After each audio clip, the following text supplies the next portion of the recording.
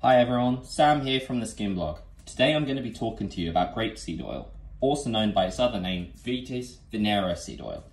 We all, know, we all know how amazing grapeseed oil is within cleansing oils. It's cheap, rich in fatty acids and antioxidants.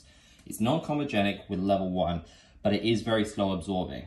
It's got a light green tinge and has a very sweet aroma, with a shelf life of up to 12 months. Its fatty acid content is a blend of omega-6 linoleic acid, omega-9 oleic acid, and omega-7 palmitic acid. So it can help reduce inflammatory-based issues while reducing irritation and strengthening your skin barrier.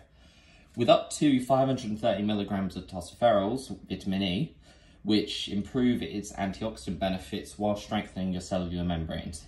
Its oligomeric proanthocyanin complexes have anti-inflammatory and antioxidant benefits. So yeah, cleansing oils and facial masks are definitely the best products to include grapeseed oil in. So thank you for listening. Hope you've enjoyed this video. If you have, please subscribe. If you'd like more information, you're welcome to join our Facebook page.